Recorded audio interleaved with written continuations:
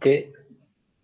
Now we will start next topic तो last class में आपको मैंने एम्पलीट्यूड कंपरेटर और फ़ेज़ कंपरेटर के बारे में बताया था राइट तो एम्पलीट्यूड कंपरेटर और फ़ेज़ कंपरेटर के बारे में दोबारा आपको बताया तो that amplitude comparator means that two quantity we have to compare.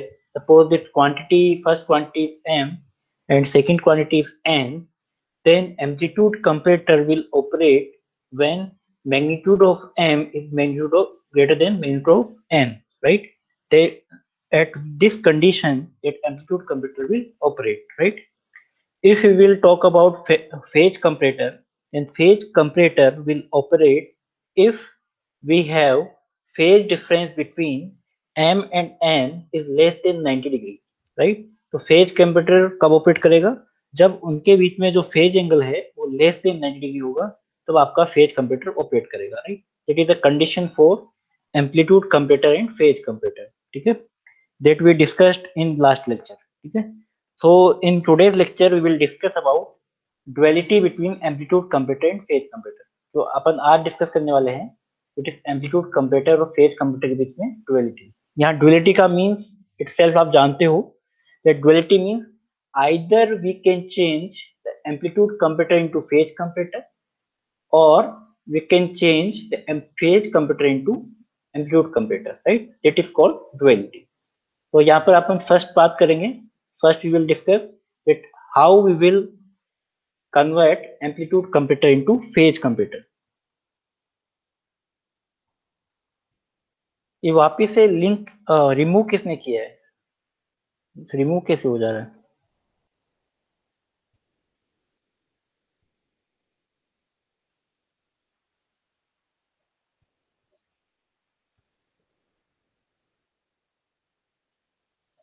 किसने किसने रिमूव किया है क्या? टू डिवाइसेस के थ्रू लॉगिन हो रहा है आई थिंक मे बी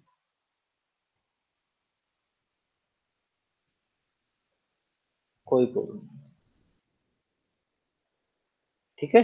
तो हम एम्पलीट्यूड कंपरेटर को फ़ेज़ कंपरेटर में चेंज कर सकते हैं और फ़ेज़ कंपरेटर को एम्पलीट्यूड कंपरेटर में अपन चेंज कर सकते हैं राइट तो फ़र्स्ट अपन डिस्कस करेंगे it how we will convert the amplitude comparator into phase comparator right तो एम्पलीट्यूड कंपरेटर में आपको मैंने बताया था that we have two inputs that is M and N and one is output right amplitude comparator will operate if magnitude of M is greater than N that mean this amplitude comparator will operate right अब amplitude comparator को phase comparator में change करने के लिए मैं क्या करूँगा? We have change the input how we will change the input one input is m plus n and second input is M minus N we have add two input m plus n it is given to one input and difference between m and n it is m minus n is the another input right that at this condition this amplitude comparator is converted into phase comparator right अपन इसको prove भी करेंगे how will convert this comparator तो अपन इसको आगे prove करने वाले हैं तो अगर मेरे को एम्पलीट्यूड कंपरेटर से फ़ेज़ कंपरेटर में चेंज करना है तो मैं यहाँ पर इनपुट चेंज कर दूँगा। एक एम प्लस एन इनपुट दूँगा और एक m minus n minus m minus n input दूँगा। अब ये एम्पलीट्यूड कंपरेटर या इसको मैं कहूँ फ़ेज़ कंपरेटर कब ऑपरेट करेगा? अगर यहाँ पे अपना जो फ़ेज़ एंगल है वो लेते हैं नाइनटी डिग्री का राइट राइट और ये एम्पलीट्यूड कंपरेटर में दो इनपुट जो दे रखे हैं, वो कब ऑपरेट करेगा? M plus n greater than m minus n होगा राइट अगर मैं इस कंप्यूटर की बात करता हूँ राइट इसको अपन आगे अपन प्रूफ करने वाले राइट बट यहाँ पे डिपेंड करेगा कि यहाँ पर जो आपका एम है और एन है, दोनों में क्या आपके पास रिलेशन रहेगा right so we have different types of relation between m and n then we say that that phi less than 90 degree that means this comparator is अपन इसको प्रूफ करने वाले हैं that different values of m and n right अब यहाँ पर M and N की value को proof करने के लिए मुझे फ़ेज़ एंगल फाइंड आउट करना है। तो अपन क्या करेंगे, यहाँ पर फेजर डायग्राम की हेल्प लेंगे तो यहाँ पर मैं फेजर डायग्राम की हेल्प ले रहा हूँ।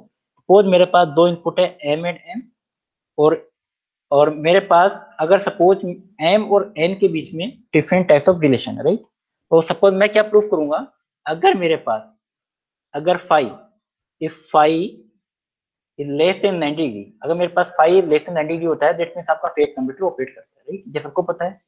अब इस कंडीशन में कौन सी कंडीशन आएगी एम और एन के बीच में ताकि मेरे पास फाइव नाइनटी डिग्री वाली कंडीशन आ जाए राइट तो मैं different different values of m लेता हूँ एन लेता हूँ। तो एम और एन के बीच में डिफरेंट जो रिलेशन है वो क्या क्या हो सकता है? या तो एम जो है सॉरी फाइव के बीच में क्या रिलेशन हो सकता है? एम और एन के बीच में एंगल में या तो फाइव आपका क्या हो लेस देन नाइनटी डिग्री हो, या फाइव आपका ग्रेटर देन नाइनटी डिग्री हो, या फाइव आपका नाइनटी डिग्री राइट तीन ही रिलेशन हो सकते हैं राइट और अपन को कौन सा देखना है? Phi less than ninety degree वाला राइट अगर phi less than ninety degree condition के अंदर अगर एम प्लस एन और एम माइनस एन क्वांटिटी आ जाते हैं देट मीन उस कंडीशन में आपका क्या करेगा? वो जो पर्टिकुलर रिले है, या फिर कंपेटर है, वो ऑपरेट करेगा राइट तो मैं एक अलग से पेज लेता हूँ तो आपको वहाँ से क्लियर हो जाएगा। तो मैं फ़र्स्ट कंडीशन दे रहा हूँ it first condition is when phi is greater than 90 degree, right? First condition is that phi is less greater than 90 degree, right? तो फ़र्स्ट कंडीशन में ले रहा हूँ 90 डिग्री से ज़्यादा अब 90 डिग्री से ज़्यादा की कंडीशन में क्या होगा? आपको पता है डेट एम और एन जो है एम और एन के बीच में आपके पास फाइव एंगल है राइट अगर मैं एन को और फ़ेज़ डायग्राम डिनोट करने के लिए सबसे पहले आपको क्या करना पड़ेगा? कोई भी आपको एक क्वांटिटी आपको रेफरेंस फेजर आपको लेनी पड़ेगी राइट सपोज़ मैं एन को रेफरेंस फेजर ले रहा हूँ that is n right suppose मैं एक एन फेजर को रेफरेंस फेजर लेता हूँ सपोज़ दिस इज़ एन ठीक है? किसी को भी ले सकते हैं, अपन एम को भी ले सकते हैं एन को भी ले सकते हैं। And this phi is angle between m and n right अब एम और एन के बीच में अगर एंगल ग्रेटर देन 90 डिग्री है तो सपोज़ मैं इस एन को यहाँ बना देता हूँ। तो आपके पास जो एम और एन के बीच में जो एंगल होगा, कितना होगा? 90 डिग्री से ज़्यादा हो जाएगा, ठीक? यहाँ पे मैंने एन बना दिया। That means that angle between m and n is 90 degree right अब मुझे कौन कौन सी क्वांटिटी फाइंड करनी है? M plus n m minus one ये क्वांटिटी मुझे फाइंड आउट करनी है। It's m plus n and one physical quantity m minus और m प्लस एन के लिए यहाँ से आपका डायग्राम m प्लस एन क्या हुआ ये? किसके बाद है? कुछ कोई डाउट है? ये किसके है ये भी? कोई डाउट है तो मुझे बता दो। ठीक है? तो n को अगर मुझे माइनस में लेना है तो मुझे क्या करना पड़ेगा? इसको जस्ट अपोजिट 180 डिग्री तो मैंने एन को सपोज़ मैंने 180 डिग्री सपोज़ कर दिया, ठीक है? तो ये क्या बन जाएगा? माइनस ऑफ़ एन ठीक है? अब मुझे क्या करना है? फेजर को प्लस करना है राइट और फेजर डायग्राम को जो आप एडिशन करते हो तो कौन सा यूज़ में लेते हो? जेट इज़ पैरेलोग्राम लो तो मुझे एम और एन को प्लस करना है, इनका जो पैरेलोग्राम जो using parallelogram law you can find the m plus n तो एम मेरे पास ये फेजर है एम मेरे पास ये फेजर है then sum summation of m plus n this vector this phasor right तो मैं इस फेजर को क्या लूँगा? That is m plus n right this m plus n तो ये मेरा जो फेजर होगा वो क्या होगा? एम प्लस एन होगा। इसको मैं लूँगा एम प्लस एन और m minus n means the summation of the phasor sum of m and minus n तो एम और माइनस एन का जो फेजर सम होगा डेट इज़ एम और एन का जो फेजर सम होगा that is m minus n तो यहाँ पर मैं इसका फेजर सम सपोज़ लेता हूँ that is m it minus n और इनका फेजर सम सपोज़ यहाँ पर जगह नहीं, इतना से लेता हूँ तो इसका जो फेजर सम होगा that is m minus of n ठीक है? M plus of minus n that means that is m minus n that is m minus n right तो मेरे पास दो फेजर आ गए एम प्लस एन और एम माइनस एन राइट तो यहाँ पे जो दो, दो फेजर्स हैं यहाँ पर एम और एन के बीच में जो एंगल है वो कितना है? It is ninety degree right this angle is ninety right तो इस पर्टिकुलर केस के अंदर जो एम प्लस और एन माइनस एन जो वेक्टर है दोनों ठीक है? तो इस कंडीशन में मेरे पास जो रिले है वो ऑपरेट नहीं करेगी। जब आप इसको अगर मेजर करोगे इस पर्टिकुलर सेक्शन को इसको मेजर करोगे यहाँ पर आपको दिख भी रहा है that m plus n m minus n से क्या दिख रहा है? छोटा दिख रहा है बड़ा दिख रहा है। और आप मेजर मेजर कर भी सकते हो बट यहाँ से आपको ये दिख रहा है that m plus n is less than less than m minus n m minus n तो इस केस में आपका रिले ऑपरेट करेगा या नहीं करेगा? कंप्यूटर ऑपरेट करेगा या नहीं करेगा? चैट बॉक्स में लिख के बताओ। अपन ने इनपुट चेंज किए थे एम प्लस एन और एन माइनस एन और फ़ेज़ कंप्यूटर के लिए कंडीशन है कि फाइव ग्रेटर देन नाइनटी होना चाहिए। ये अपन को पता है पहले से, अपन को प्रूफ कर रहे हैं। बट सपोज़ अपन को नहीं पता है तो इस केस में आपको ऑपरेट करेगा कि नहीं करेगा? अगर नहीं पता है तो। अपने पास एम्पलीट्यूड कंप्यूटर मैंने क्या बताया? एम प्लस एन और एम माइनस एन अगर ये एम्पलीट्यूड कंप्यूटर का ऑपरेट करेगा, जब m plus n m minus n से क्या हो, ज़्यादा होना चाहिए। बट इस केस में क्या हो रहा है? M plus n m minus n से ज़्यादा हो रहा है। इसका मतलब ये कंप्यूटर आपका ऑपरेट नहीं करेगा। Operate does not operate right does not operate ठीक है? इस कंडीशन में आपको ऑपरेट नहीं करेगा क्योंकि आपके पास एम प्लस एन जो है एम माइनस एन से कम आ रहा है, ठीक है? अब सेकंड कंडीशन लेते हैं। सेकंड कंडीशन में सपोज़ मैं फाइव ले रहा हूँ नाइनटी डिग्री ठीक है? मैंने लेस देन लिया था, अब सपोज़ मैं फाइव को नाइनटी डिग्री से इक्वल ले रहा हूँ। इसका मतलब ये that is phi is the angle between m and n तो अपन जो फाइव और एन के बीच में जो एंगल यहाँ पर ग्रेटर नाइनटी डिग्री थी यहाँ पर अपन को इक्वल टू नाइनटी डिग्री लेते दैट इज़ एन राइट और एम को आपको एग्जैक्टली कितना लेना है? 90 डिग्री तो मैंने ले लिया 90 degree that is m and that is m तो मैं कैपिटल लिख देता हूँ. M and that is m अब आपको क्या लेना है? इन दोनों का सम करना है एम प्लस एन का और एम माइनस एन का. तो आप एक माइनस एन भी ले सकते हो. मैं माइनस एन ले लेता हूँ. मैं अप्रोक्स बना रहा हूँ क्योंकि यहाँ पर आपको एग्जैक्टली मेजर नहीं होगा बट मैं अप्रोक्स बना रहा हूँ कि एम और एन दोनों इक्वल है, ठीक है? तो माइनस एन ठीक है? अब इनका फेजर सम करना है। अब 90 डिग्री है तो फेजर सम आपका कितना होगा? जस्ट आपका जो पैलोग्राम है स्क्वायर बन जाएगा राइट तो स्क्वायर की तरह बनेगा राइट और एम माइनस एन का सम भी ये स्क्वायर बनेगा, ठीक है? तो यहाँ से आप इसका फेजर सम आप कर सकते हो that is m plus n this is m plus n and this is m minus n ये मैंने इसका फेजर सम किया है right this is m plus n this is m minus n. अब बताओ m प्लस n और m minus n के बीच में यहाँ पे रिलेशन क्या होगा? दोनों इक्वल है? या फ़ेज़ फ़ेज़ आपका 90 डिग्री है? ये स्क्वायर की तरह बन रहा है, दोनों के दोनों m प्लस और m माइनस n क्या होंगे? आपस में इनका मैग्नीट्यूड दोनों क्या होंगे? सेम होंगे तो m प्लस एन इस केस के अंदर m माइनस एन के इक्वेट होगा राइट तो इस केस के अंदर भी आपकी जो कंपेटर है, वो ऑपरेट करेगा नहीं करेगा? नहीं करेगा राइट तो इस केस के अंदर भी आपका जो कंपेटर है, वो ऑपरेट नहीं करेगा right that mean this condition is does not operate इसके अंदर क्या होगा? ऑपरेट नहीं करेगा, ठीक है? अब थर्ड वाला केस लेते हैं। थर्ड वाले केस के अंदर अपने पास कंडीशन आएगी that is phi greater less LED greater वाला तो ले लिया तो third case is that phi is greater than, sorry, less than 90 degree. Third वाला केस अब थर्ड वाले केस के अंदर m और n के बीच में इस तरह लेना अपन को एंगल कि आपका जो एंगल है लेस देन 90 डिग्री राइट तो लेस देन 90 डिग्री के लिए सपोज़ मैं n बना देता हूँ दिस इज़ n, और m आपका लेस देन 90 डिग्री तो लेस देन के लिए आपके पास जो m बनेगा इस तरह से बनेगा right this is n and this is m. Right?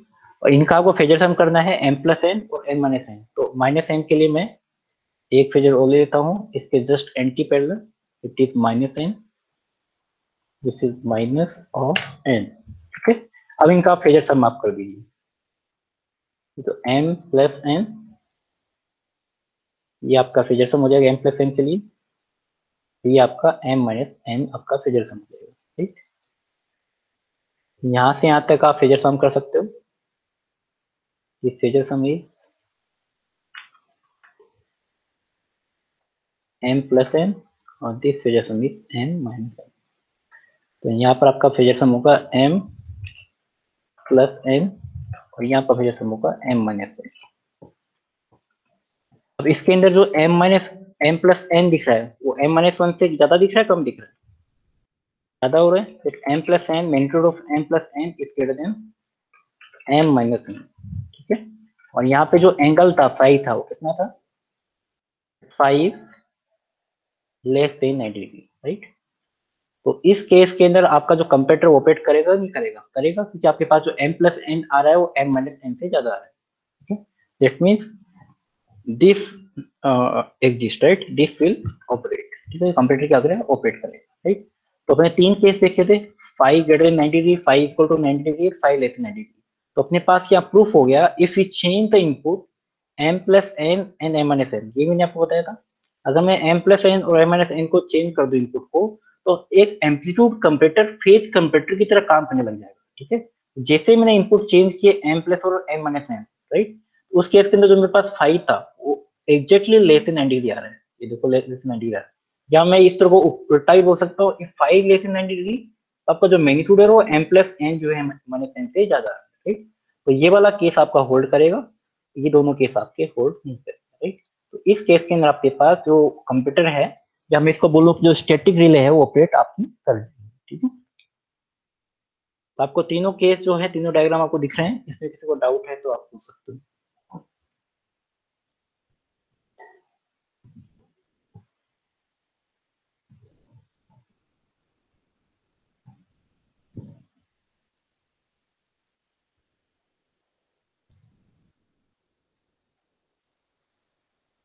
मेरी आवाज़ तो आ रही है आपको?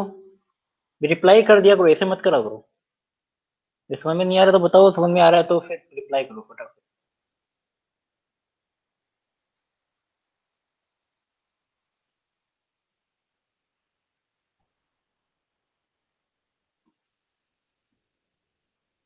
क्लियर है? अब अपन आते हैं नेक्स्ट पे that we will convert the phase comparator into amplitude comparator अब क्या करेंगे अपन? फ़ेज़ कंप्यूटर को एम्पलीट्यूड कंप्यूटर में चेंज करेंगे ठीक है तो सेकंड वाला पार्ट पे जाते हैं we change the phase comparator into amplitude comparator right suppose we have phase comparator two types of input that is m and n that that phase computer will operate if the phase difference between m and n that is 5 less than a degree right it is condition of phase computer now we will convert phase computer into amplitude computer how we will change we will change the input right it that phase computer change the uh, amplitude computer if we change the input. That is m is changed to m plus n and n is changed to m minus n right? तो मैंने change कर दिया input अब change करने के बाद में अपन अब उल्टा करेंगे राइट पहले क्या कर रहे थे? फ़ेज़ एंगल से अपन डायग्राम बना रहे थे और मैग्नीट्यूड अपन ऑब्ज़र्व कर रहे थे राइट अब क्या करेंगे? पहले अपन डायग्राम के अंदर m और n के जो मैग्नीट्यूड है वो चेंज करेंगे और फ़ेज़ फ़ेज़ जो एंगल उनके बीच में वो अपन ऑब्ज़र्व करेंगे राइट तो अपन इसके जस्ट अपोजिट करने वाले हैं। समझ में आ रहा है आपको?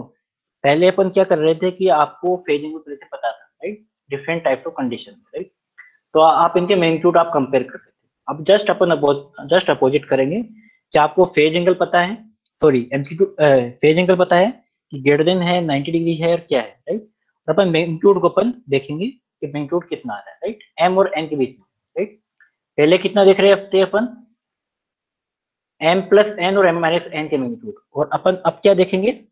एम प्लस और एम माइनस एम एन का जो मैग्नीट्यूड है, वो पहले से पता है, अपन फ़ेज़ एंगल ऑब्ज़र्व करेंगे राइट इसके जस्ट अपोजिट अपन यहाँ पे काम करने वाले ठीक है?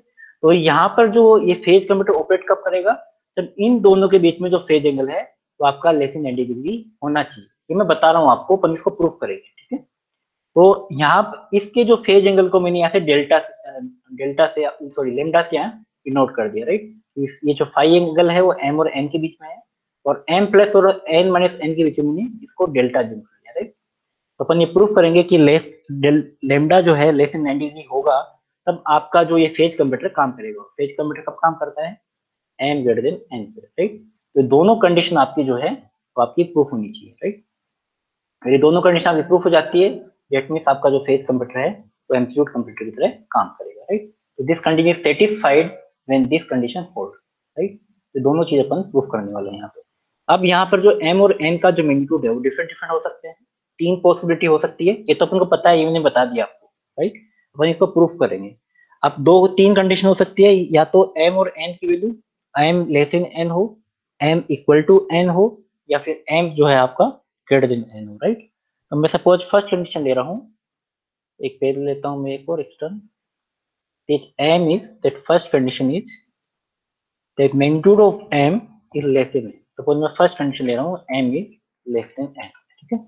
तो फ़र्स्ट कंडीशन में एम लेस देन एन ले रहा हूँ राइट तो इसका मतलब जो आपका जो मैग्नीट्यूड एन है, वो ज़्यादा है और एन आप एम आपका कम है राइट तो मैं सपोज़ फ़र्स्ट मैग्नीट्यूड जो एन का है, वो ज़्यादा ले लेता हूँ। तो जो एम का जो मैग्नीट्यूड है आपका, वो कम लेता हूँ राइट तो एम लेसन एन में एम का मैग्नीट्यूड आपका कम लेता हूँ सपोज़ में ये एन का मैग्नीट्यूड आपका पास बहुत कम लेंगे। थोड़ा सा ओपन देता हूँ सपोर्ट कीजिए लोगों ठीक है? This magnitude is n in this magnitude is n right अब इसके बाद में आपका इनका फेजर सम करना है। फेजर सम करने पर आपको m plus n find out करना है और m minus n find out करना है। तो एम प्लस एन और m minus n find out करने के लिए सपोज़ मैं एक एंटी फेजर ले लेता हूँ। It is minus n that is minus n अब इनका मैं फेजर सम करता हूँ सबको राइट तो m प्लस एन के लिए ये आपका फेजर सम हो जाएगा। It is m plus n और ये आपका n माइनस एन हो जाएगा।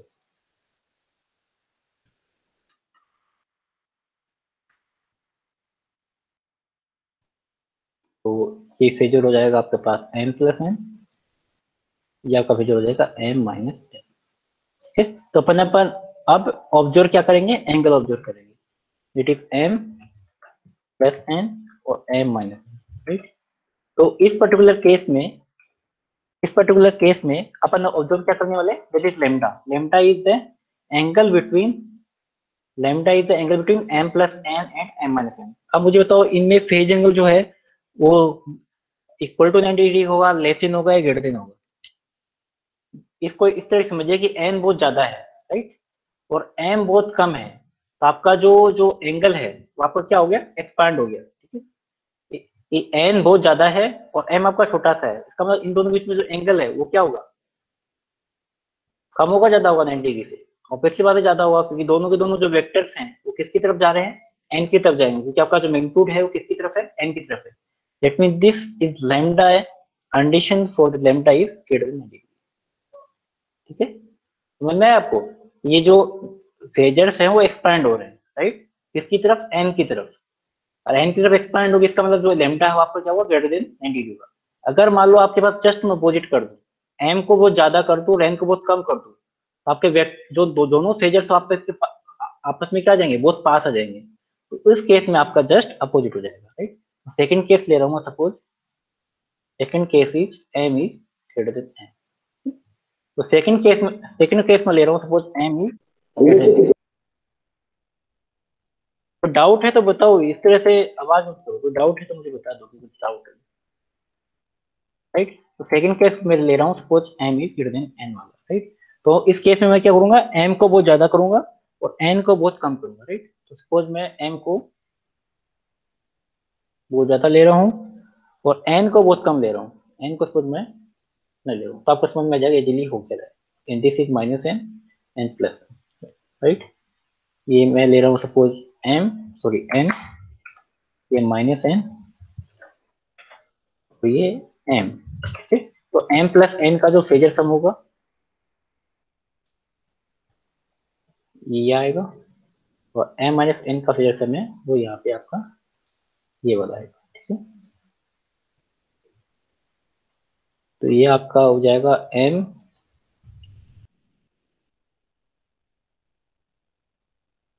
minus n, this is m plus n, right? This phasor is m plus n. This is m minus n. अब इसमें एंगल जो है आपका ज़्यादा होगा या कम होगा? 90 डिग्री से 90 डिग्री से कम होगा। क्योंकि आपके जो फेजर है, वो किसकी तरफ़ जा रहे हैं? हायर मैग्नीट्यूड की तरफ़ जाएँगे। कि एम जो आपके पास हायर है लेफ़्ट एम एन के। ताकि यहाँ पर जो लेमटा होगा एम और एन के बीच में यहाँ पर क्या होगा? It is less than ninety degree इस केस में आपका less than ninety degree second वाले केस के अंदर। मैं बात करता हूँ थर्ड केस की। अब थर्ड केस में अपन क्या जूम कर रहे हैं? Suppose magnitude of m is magnitude of n दोनों का जो मैग्नीट्यूड है, वो इक्वल करना right magnitude of m is magnitude of n right third case अब थर्ड केस के अंदर आपके दोनों जो मैग्नीट्यूड है, उसको मैं इक्वेट कर रहा हूँ suppose this is n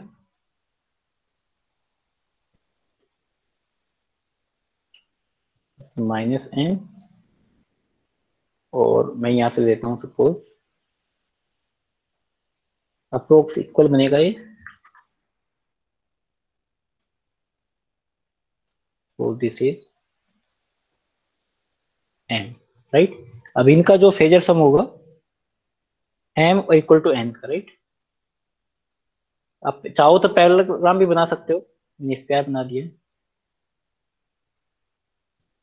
अब इसके अंदर जो आपके पास m प्लस एन और m माइनस एन होगा right this phasor is m plus n and this phasor is m minus n या ये वाला जो फेजर है वो एम रहेगा सॉरी ये एन रहेगा, या आपका माइनस एन रहेगा। This is m m plus n this is m minus n now the phase difference between m plus n and m minus n equal to nine degree तो आप observe करोगे this phase difference between m plus n m m minus n lambda is equal to nine degree it is third case तो यहाँ पर आप easy देख सकते हो कि अपने वाला केस कौन सा है? ये वाला केस तो आपका लेमडा क्या हुआ? लेस देन डिग्री या फिर मैं कहूँ कि m plus m minus n जो है, आपस में जो फेजर जो है, m और n जो है, वो m आपका ग्रेटर देन m ना चाहिए। ये वाला केस आपका होल्ड करेगा। तो इस वाले केस के अंदर आपको पता है कि कब ये होल्ड करेगा? जब lambda greater than 90 degree right या अपन इसको ऐसे बोल सकते हैं कि जब लेमडा ग्रेटर देन 90 डिग्री होगा, तब आपके पास कौन सा ऑपरेट करेगा? जब एम आपका greater n right that means that proof of the how we will convert the phase comparator into amplitude comparator यही मैंने बताया था आपको, जब is greater less than 90 degree तब m क्या होगा? ग्रेटर देन n तो इसमें ये वाला जो सेकंड वाला केस है, वो आपका होल्ड करेगा, ठीक है? तो इस तरीके से एम्पलीट्यूड कंपरेटर और फ़ेज़ कंपरेटर ऑपरेट करते हैं in case of static relay यहाँ तक किसी को डाउट है तो आप पूछ सकते हैं।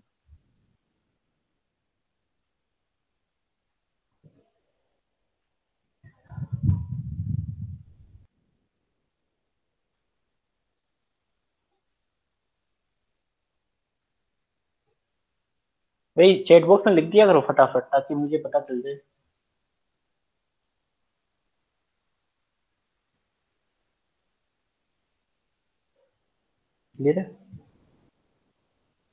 अब नेक्स्ट आता है नेक्स्ट चीज़। दो टाइप्स मैंने आपको बताइए कौन कौन सी। एक तो आपको मैंने बताइए इलेक्ट्रोमैकेनिकल रिले स्टैटिक रिले और थर्ड है न्यूमेरिकल रिले अपन के इसके बाद में सिर्फ़ और सिर्फ़ बेसिक आइडिया ले रहे हैं, ठीक है? इनका क्या आगे डिस्कशन होगा तो अपन डिस्कस करेंगे पूरा। मैंने इसका सिर्फ़ बेसिक आइडिया ले हैं, ठीक है? और third types of relay is numerical relay इसको, इसका सेकंड एक और नाम है it is digital relay that relay.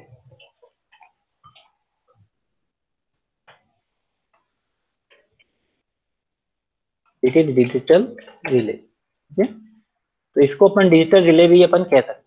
ठीक है? न्यूमेरिकल रिले को भी।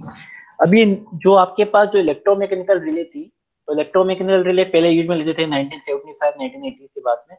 फिर ये स्टैटिक रिले आई तो स्टैटिक रिले भी यूज़ अच्छा खासा हुआ। फिर कुछ स्टैटिक रिले का कुछ डिसएडवांटेज ऐसे हुए कि आ, आपको न्यूमेरिकल रिले तो नेक्स्ट जो एडवांस वर्जन है तो आपकी न्यूमेरिकल रिले आपकी पिक्चर में आई ठीक है? न्यूमेरिकल जो रिले है, वो एडवांस टाइप ऑफ़ रिले है। जो भी आपके जो नए जो सब स्टेशन पावर प्लांट है, वहाँ पर आपके न्यूमेरिकल रिले लगी हुई है डिजिटल रिले लगी हुई right it are the microprocessor based relay ठीक है? तो इसको माइक्रो प्रोसेसर बेस्ड रिले भी बोल सकते हैं। तो आपके जितने भी माइक्रो प्रोसेसर बेस्ड जो भी रिले होती है that are called the numerical relay और द डिजिटल रिले राइट तो डिजिटल रिले में और उनमें क्या डिफरेंस है? क्योंकि उनमें जो भी काम होता था, अपना एनालॉग वाला काम होता था। एनालॉग एनालॉग और डिजिटल का मतलब तो आप समझ सकते हो ठीक है? तो एनालॉग को अपन क्या करते हैं इसमें डिजिटल में कन्वर्ट करते हैं ठीक है? तो एनालॉग में डिजिटल में कन्वर्ट करने वाला काम जो है वो डिजिटल रिले में आएगा राइट जैसे मान लो कि सपोज़ आपको को आ, किसी पर्टिकुलर ट्रांसमिशन लाइन में कोई फॉल्ट है राइट तो उस फॉल्ट आने की कंडीशन में आपकी जो डिजिटल रिले है वो ऑटोमेटिकली क्या करेगी? उस फॉल्ट को सेंस करेगी पता लगाया कि सर्किट ब्रेकर उसको ऑपरेट कराएगा और बाकी जो रिले है ऑटोमेटिकली उसको दो को रिमूव कर देगी राइट और आपके पास जो भी डिजिटल रिले लगी हुई है, उसके ऊपर इंडिकेशन आ जाएगा कि इस पर्टिकुलर टाइम में आपका फॉल्ट क्लियर हो चुका है, कितना टाइम लगा है, कितना उसका टीएमएस है जो भी आपके पास फ़िज़िकल क्वांटिटी है, वो आपकी ऑब्ज़र्व हो जाएँगे ऑन में डिस्प्ले जो भी आपका डिस्प्ले होगा, वो ऑब्ज़र्व हो जाएँगे राइट तो डिजिटल रिले में सबसे इजीली काम है कि आपको पता भी नहीं चलेगा कि फोल्ड कब रिमूव हो गया और आप उसकी डिटेल इजीली आप यहाँ पर देख सकते हैं, ठीक है? तो डिजिटल रिले का सबसे बढ़िया फ़ायदा यही है। तो ना अपने जो भी मॉडर्न जो रिले है, जो मॉडर्न टाइप ऑफ़ रिले भी बोलते हैं इसको, या डिजिटल रिले बोल सकते हैं न्यूमिकल रिले या माइक्रो प्रोसेसर बेस्ड रिले तो इसके डिफरेंट डिफरेंट नाम है बट नॉर्मली अपन नॉमिकल रिले और डिजिटल रिले के नाम से इसको जानते हैं राइट तो इसके बारे में अपन डिस्कशन करेंगे पूरे चैप्टर में बट यहाँ पर एक ब्लॉक डायग्राम के थ्रू मैं आपको समझाऊँगा कि how will this numerical relay और डिजिटल रिले विल ऑपरेट ठीक है? तो यहाँ पर एक ब्लॉक डायग्राम है, उस ब्लॉक डायग्राम से आपको इजीली क्लियर हो जाएगा। तो उस ब्लॉक डायग्राम के अंदर सबसे सपोज़ मान लो कि सपोज़ ट्रांसमिशन लाइन के फॉल्ट की बात करते हैं। So we will suppose we will observe two physical quantity current and voltage upon current और वोल्टेज दो क्वांटिटी अपन मेजर कर रहे हैं। It current is measure by the CT and voltage is measure by the PT और VT right तो voltage PT से measure हो रहा है और करंट आपका सीटी से मेजर हो रहा है राइट अब जो सीटी और पीटी का काम क्या है? उस करंट को मेजर करेगा ऑब्ज़र्व करेगा और करंट को आपको रिड्यूस कर देगा। जो भी आपके करंट और वोल्टेज के सिग्नल्स आ रहे हैं, उनको रिड्यूस करेगा। तो सीटी और पीटी का काम क्या होगा? यहाँ पर जो भी सिग्नल्स आ रहा है, उसको रिड्यूस करने का काम हो गया राइट उसके लेवल्स को क्या कर देगा? रिड्यूस कर देगा। Now this next CT output is given to the signal conditioner, right? And voltage or vt or the pt output is given to conditioner. अब ये सिग्नल कंडीशनर क्या है? कि सपोज़ मान लो मेरे पास जो भी सिग्नल्स आ रहे हैं ठीक है? जो भी सिग्नल्स आ रहे हैं different types of signal right या कंडीशनर का मतलब है कि उस सिग्नल्स को कंडीशन करना। कंडीशन करने का मतलब यह कि there are various type of signal there is current signal voltage signal और the various type of signal अब सिग्नल्स के अंदर क्या होगा? जब एक high frequency component low frequency component medium frequency component right जो जो भी हाई फ्रिक्वेंसी कंपोनेंट है, उसको क्या कर देगा? रिमूव कर देगा। उसको अलग कर देगा राइट और यहाँ पर सपोज़ ये करंट जा रहा है वोल्टेज जा रहा है राइट अब इसके आगे मैंने एनालॉग मल्टीप्लेक्सर लगा रखा है। अब एनालॉग मल्टीप्लेक्सर क्या करता है? दो सेम टाइप ऑफ़ इनपुट को क्या करता है? ये कंबाइन करके सिंगल इनपुट आउटपुट देता है राइट दो भी हो सकते हैं, चार भी हो सकते हैं, यहाँ पर दो की बात कर रहे हैं और दो इनपुट कौन से होनी चाहिए? सेम इनपुट होनी चाहिए। तो एक इनपुट तो आपका करंट आ रहा है वोल्टेज आ रहा है, दोनों को तो लेगा नहीं। है तो सिंगल कंडीशन क्या कर देगा कि जो वोल्टेज वाला जो सिग्नल है, उसको करंट के इक्विलेंट सिग्नल में चेंज कर देगा, ठीक है? जो वोल्टेज वाला जो सिग्नल आ रहा है इसको करंट के इक्विलेंट सिग्नल में चेंज कर देगा, ताकि जो एनालॉग मल्टीप्लेक्सर है उसमें अपना काम बन जाए राइट तो सिंगल कंडीशन का काम क्या होगा? सिग्नल कंडीशन जो भी हाई फ्रिक्वेंसी कंपोनेंट उसको रिमूव करेगा, और जो भी वोल्टेज सिग्नल आ रहा है, उसको इक्विलेंट करंट सिग्नल में चेंज करेगा, ताकि एनालॉग मल्टीप्लेक्सर अपना काम करने लगे ठीक है? और इस सिग्नल कंडीशनर का जो आउटपुट है ये सिग्नल कंडीशनर का जो आउटपुट है it is given to the sample and hold circuit it S H means sample and hold आपने उसमें पढ़ा रखा होगा आई थिंक डिजिटल इलेक्ट्रॉनिक्स में सैंपल एंड होल्ड सर्किट तो इस सैंपल एंड होल्ड सर्किट में जो भी सिग्नल कंडीशन का जो आउटपुट है वो सैंपल एंड होल्ड सर्किट में जाएगा। यहाँ पर सैंपल एंड होल्ड सर्किट का काम क्या होगा कि, कि जो पर्टिकुलर सिग्नल जो सिग्नल कंडीशन से आया है उसको पर्टिकुलर सैंपलिंग फ्रिक्वेंसी से उसको सैंपल करता है। अब सैंपलिंग फ्रिक्वेंसी से उसको सैंपल करके कुछ कुछ पर्टिकुलर टाइम के लिए कुछ इंस्टेंट पर्टिकुलर टाइम के लिए उस सिग्नल को होल्ड करेगा। और होल्ड करने के बाद में आउटपुट को कहाँ दे देगा? एनालॉग मल्टीप्लेक्स दे देगा। Same the case of current or same in the case of voltage rather I would say voltage uh, current equivalent ठीक है? तो इस सिग्नल्स को कहाँ दे देगा? एनालॉग मल्टीप्लेक्सर अब एनालॉग जो मल्टीप्लेक्सर है वो दो इंप्रूव कंबाइन करके किसमें देगा? सिंगल आउटपुट में। इसका जो सिंगल आउटपुट है it is given to the analog to digital converter ADC means analog to digital converter right that is analog signal, now we will convert to digital converter.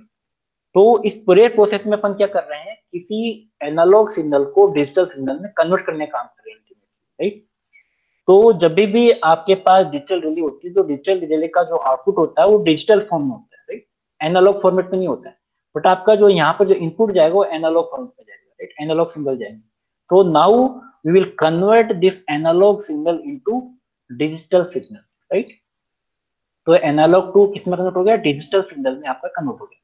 Now this output of ADC, analog to digital converter is given to the microprocessor system. Now in this microprocessor system, यहाँ पर कोई भी programming आपकी या फिर कोई algorithm design होती है अब हो सकता है एल्गोरिथम एक टाइप की नहीं होगी। हो सकता है कि आपकी जो डिजिटल डिले है वो ट्रांसफॉर्मर के लिए आ रही है ट्रांसमिशन लाइन के लिए अलग आ रही है। तो डिफरेंट टाइप्स ऑफ़ इक्विपमेंट के लिए आपकी different types of digital delay होती है तो डिपेंड करता है कि आप किस इंस्ट्रूमेंट के लिए ले रहे हो, किस पर्टिकुलर सिस्टम के लिए आप डिज़ाइन कर रहे हो। तो यहाँ पर आपकी जो एल्गोरिथम जो डिज़ाइन होगी या फिर जो आपका प्रोग्रामिंग डिज़ाइन होगा, वो डिपेंड करेगा कि किस इंस्ट्रूमेंट के लिए आप डिज़ाइन देंगे राइट तो माइक्रोप्रोसेसर सिस्टम में आपकी प्रोग्रामिंग होती है कोई एल्गोरिथम डिज़ाइन होती है। वो एल्गोरिथम ये डिसाइड करती है कि आपको ट्रिप सिग्नल आपको सिग्नल जो है वो ट्रिप कराना है कि नहीं कराना है। राइट तो जो सर्किट ब्रेकर को जो कमांड देने का काम है, वो जो ये एल्गोरिथम डिसाइड करेगी राइट तो एल्गोरिथम पता एल्गोरिथम पता लगाएगी कि उस पर्टिकुलर जो करंट की वैल्यू से जो वैल्यू है, वो इंक्रीज हुआ कि नहीं हुआ थ्रेशोल्ड वैल्यू से कम है, ज़्यादा है कि नहीं है, ठीक है? तो जो एल्गोरिथम वो डिसाइड करेगी मतलब कहने का मतलब है कि वो एल्गोरिथम डिसीज़न लेगी, ताकि वो सर्किट ब्रेकर को कमांड दे दे राइट जो एल्गोरिथम ने डिसाइड कर लिया कि सर्किट को कमांड देना है तो ये जो कमांड देने काम है, वो एल्गोरिथम करेगा और कमांड देने के बाद में जो आपका सिग्नल है वो आपका ठीक हो जाएगा राइट तो how this digital relay will operate right तो इसका एक छोटा सा एक ब्लॉक डायग्राम है, इससे आप यह समझ सकते हो। और इसकी जो डिटेल स्टडी है, वो अपन एक चैप्टर में करेंगे। उस चैप्टर में आपका पूरा डिजिटल रिले वाला काम ठीक है? तो इसमें किसी को डाउट है तो आप पूछ सकते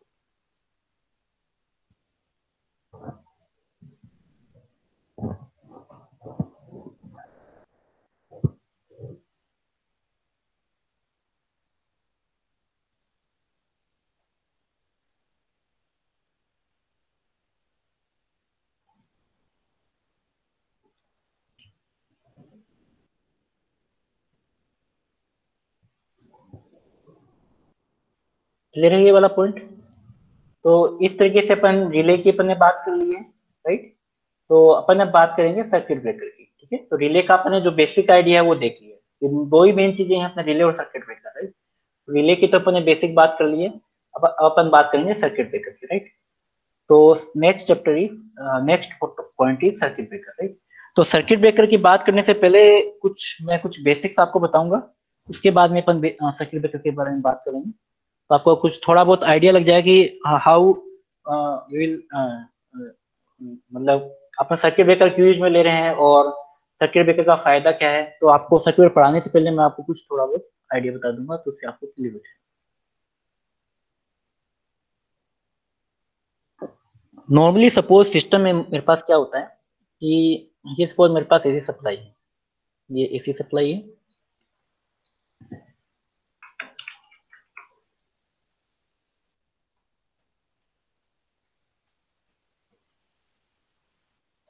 एसी सप्लाई एंड यहाँ पे नॉर्मली पहले क्या होता था सपोज़ मान लो मेरे पास कोई ऑपरेट कराना है यहाँ पर सपोज़ एक स्विच है इसको ध्यान से समझना, ये अगर आपको समझ में आ गया तो प्रोटेक्शन आपको पूरा समझ में आ जाएगा। ये नोट्स में नहीं लिखा हुआ है, वैसे मैं आपको बता रहा है। यहाँ पर सपोज़ लगा हुआ है।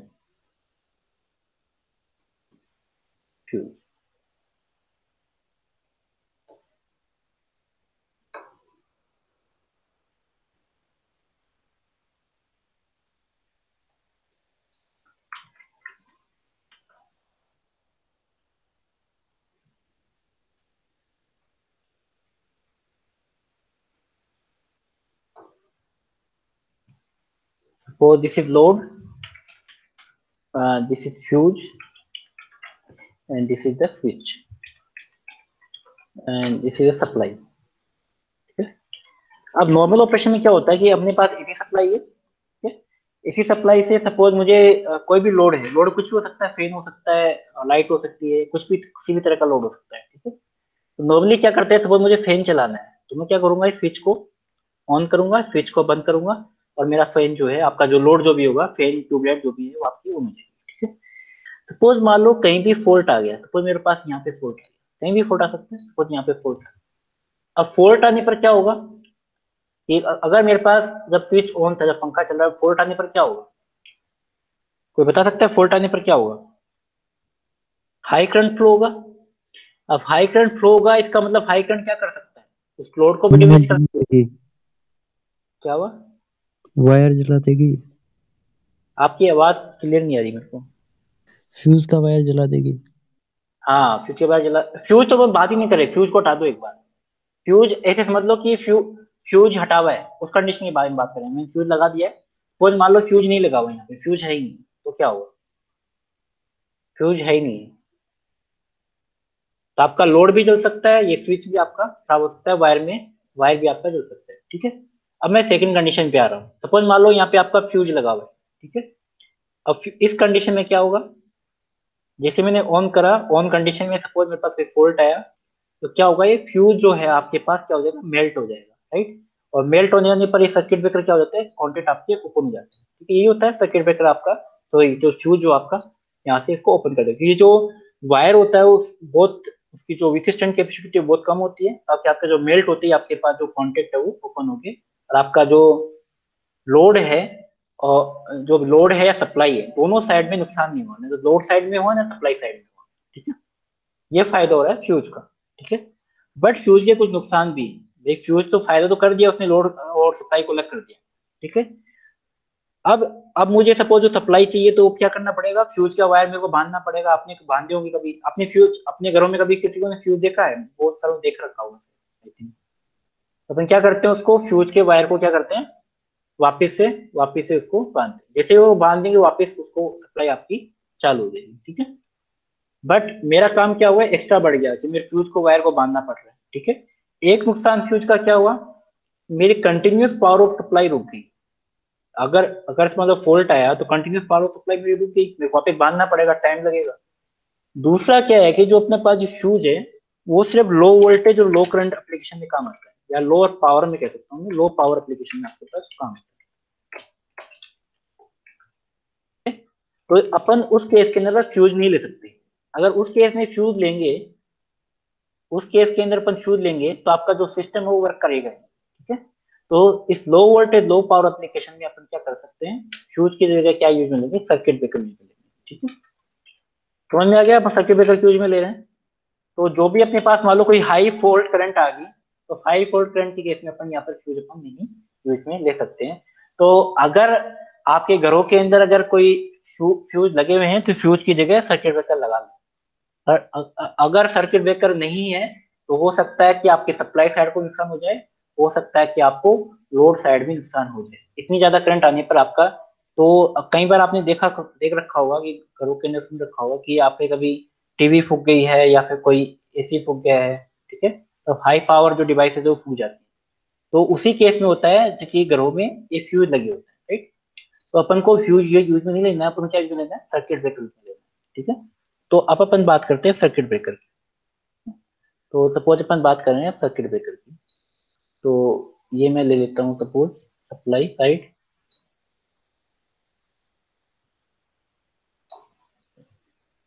ठीक है? अब यहाँ पे अपन यूज़ मिलते हैं सर्किट ब्रेकर अगर ट्रांसमिशन लाइन के बारे में बात कर रहे हैं, ठीक है? तो ट्रांसमिशन लाइन से पहले सर्किट ब्रेकर यूज़ लेंगे सर्किट ब्रेकर से पहले एक डिवाइस यूज़ होती है, जिसको अपन बोलते हैं आइसोलेटर नाम सुन रखा है आइसोलेटर का सबने? आइसोलेटर का नाम सुन रखा है क्या सबने? सुन रखा होगा ना? पावर सिस्टम में पट रखा होगा।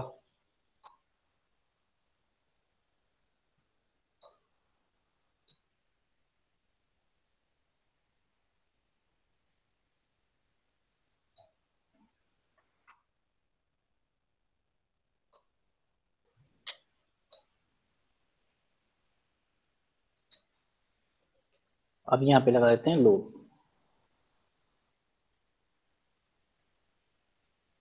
तो ये तो क्या है मेरे पास? सर्किट ब्रेकर और ये मेरे पास क्या है? आइसोलेटर ये मेरे पास क्या है? दिस इज़ आइसोलेटर अभी यहाँ पे अपने सोचिए क्या लगा दिया है? और सर्किट ब्रेकर लगा दिया है, ठीक है? ये circuit breaker this will operate with high power application ठीक है? हाई पावर एप्लीकेशन के बारे में बात कर रहे हैं। सपोज़ ये ट्रांसमिशन लाइन है, ये सोर्स साइड है और ये आपके पास लोड है जिसे सप्लाई साइड अब सपोज़ मान लो नॉर्मल कंडीशन में अपनी सप्लाई चालू हो रही थी राइट तो सपोज़ मान लो कोई फॉल्ट आया, ठीक है? फॉल्ट आने पर ये आइसोलेटर क्लोज थे राइट और सर्किट में कॉन्टेक्ट भी आपके क्लोज थे, ठीक है? जैसे ही मान लो सपोज़ कोई फॉल्ट आया तो कॉन्टेक्ट क्या होंगे? आपके अलग अलग हो जाएँगे दोनों तरफ़ ठीक है? सर्किट ब्रेकर के आपके ओपन हो जाएँगे तो अपने पास सप्लाई साइड और लोड साइड आपका बच ठीक है? बट इस सर्किट ब्रेकर में, इस सर्किट ब्रेकर के जो कॉन्टेक्ट हुए, ठीक है ओपन हो जाएँगे। बट यहाँ पे मैंने एक आइसोलेटर दो लगा रखे हैं। सर्किट ब्रेकर के दोनों साइड ये क्यों लगा रखे हैं? बिना आइसोलेटर के भी काम चल जाता। भाई आइसोलेटर जो है, वो आइसोलेटर नहीं लगाऊँ तो भी मेरा काम चल जाएगा ना। अभी सर्किट ब्रेकर ऑपरेट कर रहा है, अपना काम कर रहा है। ये आइसोलेटर क्यों लगे? ये आइसोलेटर क्यों लगाया मैंने हाई पावर एप्लीकेशन के लिए मैं सर्किट ब्रेकर लगा दी सर्किट ब्रेकर अपना काम कर रहा है। ये आइसोलेटर क्यों लगाए अगर ट्रांसमिशन लाइन की बात करूँ मैं तो आइसोलेटर क्यों लगाया अपन सर्किट ब्रेकर से भी काम चल रहा था।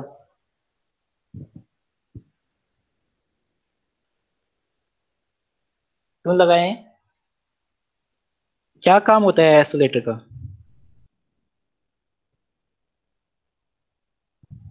हम्म? तो आइसोलेटर का यहाँ पे काम क्या है? सपोज़ मान लो मेरे पास इस ट्रांसमिशन लाइन में, इस ट्रांसमिशन लाइन में कुछ इक्विपमेंट को डेमेज कुछ इक्विपमेंट को चेंज करना है कोई वायर खराब हो गया है, या फिर मान लो कोई अदर इंस्ट्रूमेंट डैमेज हो गए हैं, या फिर कोई मेंटेनेंस का कोई काम चल रहा है, ठीक है? तो उस मेंटेनेंस के लिए क्या कर दूँगा मैं? बस बार से अलग कर देता है लोड को।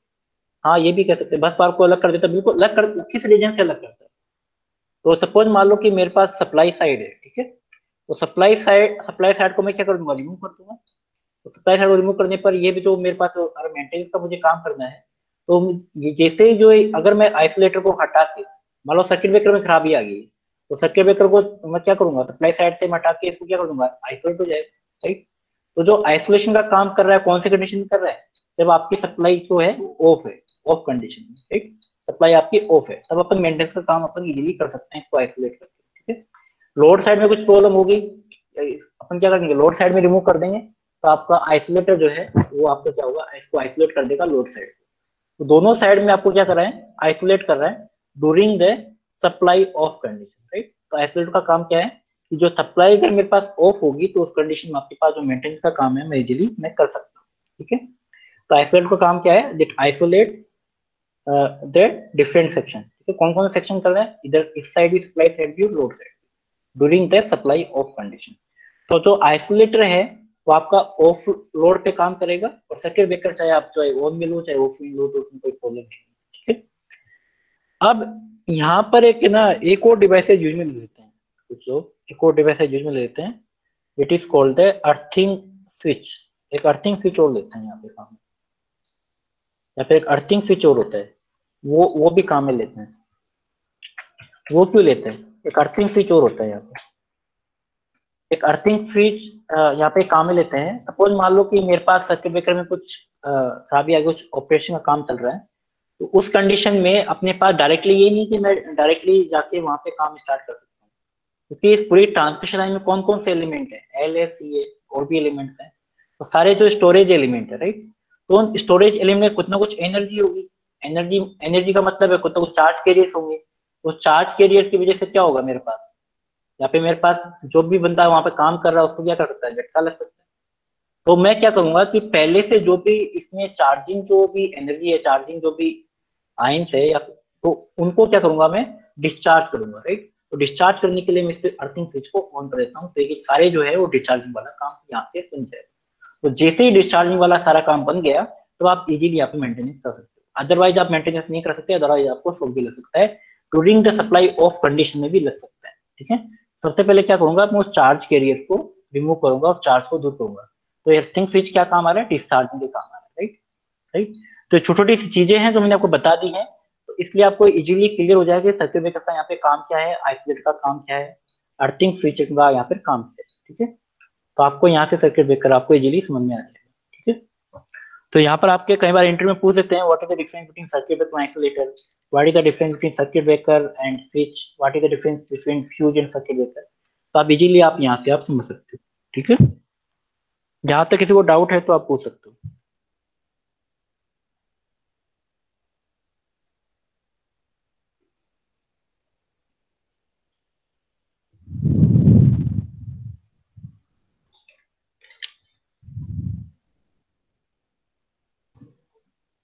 ठीक है? अब अपन आते हैं सर्किट ब्रेकर पे, ठीक है? तो सर्किट ब्रेकर जो अपना मेन डिवाइस है देखिए सर्किट ब्रेकर सर्किट ब्रेकर में एक्चुअली में जो सर्किट ब्रेकर है, एक तरह का मैकेनिकल स्विच है, ठीक है? स्विच ये जो मैंने आपको भी बताया। तो मैकेनिकल स्विच क्या स्विच क्या करता है? ऑन और ऑफ़ करता है। स्विच का काम क्या है? ऑन और ऑफ़ या तो ऑफ़ रहेगा या ऑन रहेगा, ठीक है?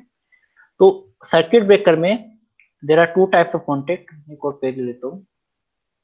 दो टाइप के कॉन्टेक्ट होते हैं। इसको एक मैं बोलता हूँ, देखिए फिक्स कॉन्टेक्ट एक बोलता हूँ moving contact one is fix contact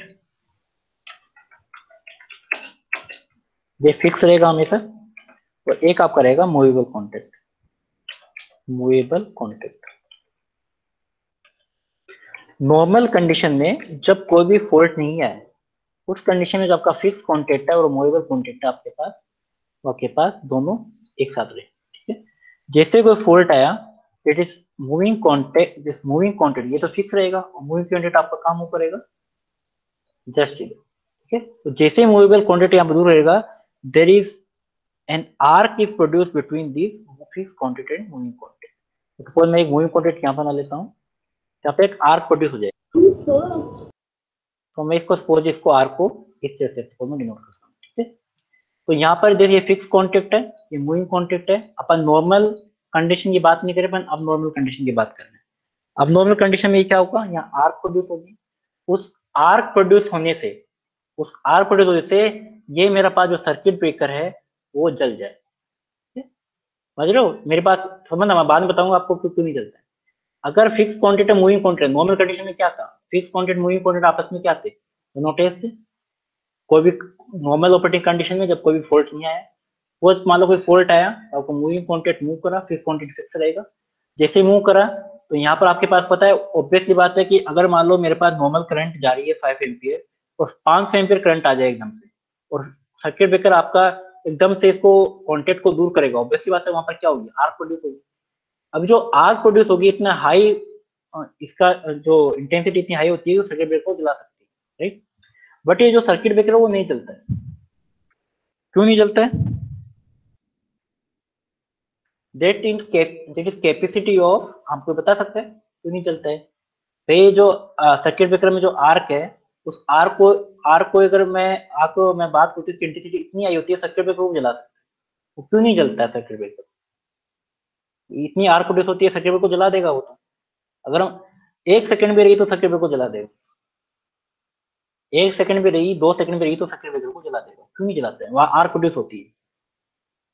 क्यों नहीं जलाता है वो? कि इतनी हाई एम्पियर करंट जो है, उसको मैं अगर कॉन्टेक्ट को दूर करूँगा तो आर्क उसको डेफिनेटली जलाएगा। क्यों नहीं जलाता है? तो बता सकते हैं, क्यों नहीं जलाता है?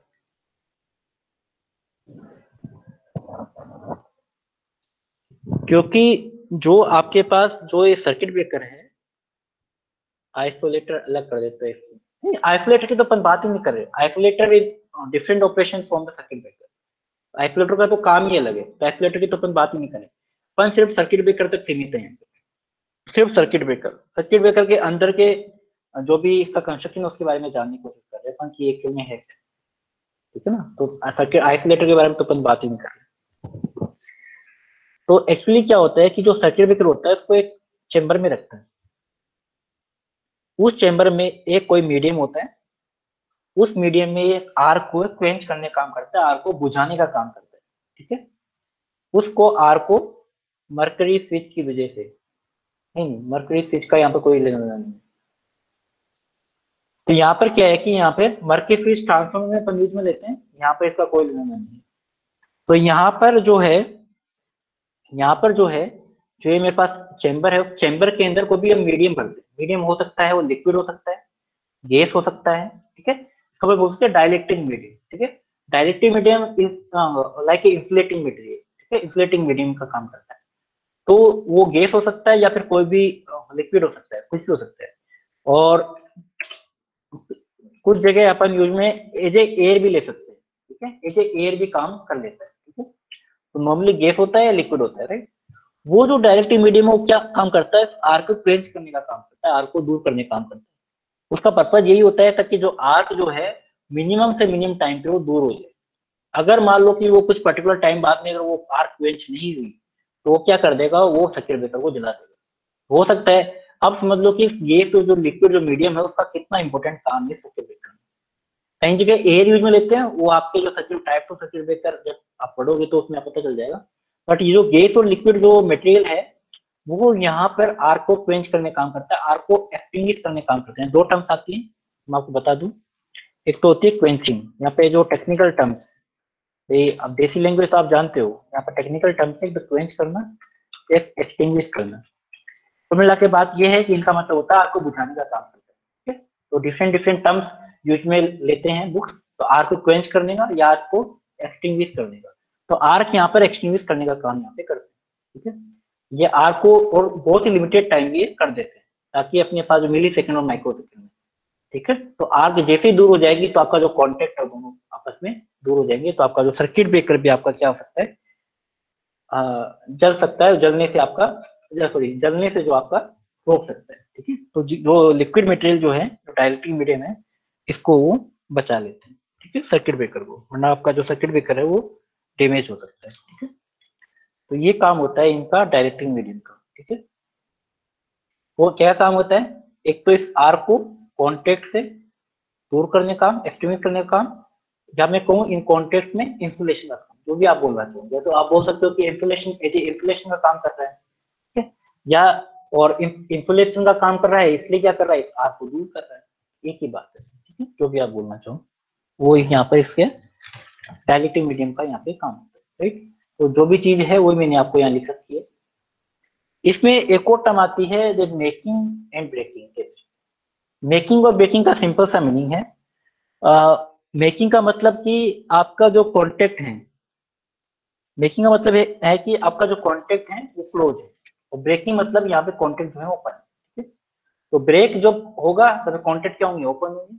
और मेक होगा तब कॉन्टेक्ट क्या होगी? क्लोज होगी। सिंपल सी बात। तो दो टर्म यूज़ लेते हैं मेकिंग और breaking breaking means contact open और, और making means contact close it is that's why it's called making and breaking right ठीक है? ये मैं आपको बता चुका हूँ यहाँ पे। और जो चीज़ मैं बताई है, वही चीज़ यहाँ पे मैंने आपको लिख रखी है, ठीक है? तो आप यहाँ पे इजीली पढ़ सकते हैं, ठीक है? इसमें किसी को डाउट अभी टाइम हो गया है तो अपन जो इसका जो मेथड इसमें टाइम लग जाएगा अपन नेक्स्ट क्लास में डिस्कस करेंगे। How we will arc extinguish तो आर्क को जो एक्सटिंग्विश करने का काम है, या आर्क को इंटरप्ट करने का जो काम है, इसके मेथड अपन डिस्कस करेंगे कल यहाँ तक किसी को डाउट है तो आप पूछ सकते